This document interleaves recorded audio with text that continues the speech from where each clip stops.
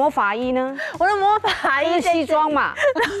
哎，真心斗篷系列，而且你知道吗？一路说要戴西装，我就想了一下，我看一下脚本，这件事他已经说三年。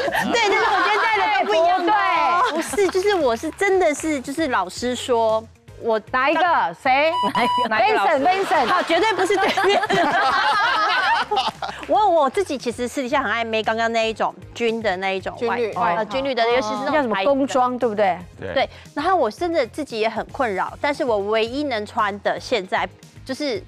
对我来讲是百搭，也是唯一可以搭的，就是西装外套。我因为我只要穿上，真的，我只要穿上西装外套，大家都不觉得。像我之前有胖到七十多，大家就觉得好像没有到七十多，可能六十几。可以看一下你穿那个黄色的吗？它只是哦，黄色是之前有比较瘦的时候穿的，所以是现在穿不下。但是要穿不知道哎。言下之意说你又胖了？不是不是不是，就是指最近就是很认真，但是还是就是只瘦了大概五公斤多。好像是五公斤不少了。五公斤还蛮多的。好像是哎，对耶，好像是有哎。好适合穿西装。我觉得你就跟那个材料行，然后就是 打这个版，所有的布都留下来，什么颜色都来一款，赚翻。不是因为它刚刚你的那个 T 恤是软的嘛，我刚刚说他背很厚，可是他一。穿上这个之后背就变薄，对它前面的腰露出来，这版型很好，背就变薄。可是你看哦，他们那班同学感情 好，这样就不合啊。对，让我胖的互相取暖，怎么互相取暖，互相取暖。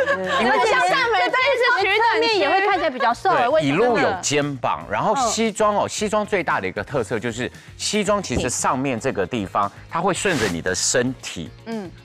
好，有有一点就是把你的身体做一个框框框起来。肉肉的女生最怕就是肉松。哦。她就算要 oversize 也得要挺一点的 oversize。哦，明白。好的，好，谢谢我的百搭。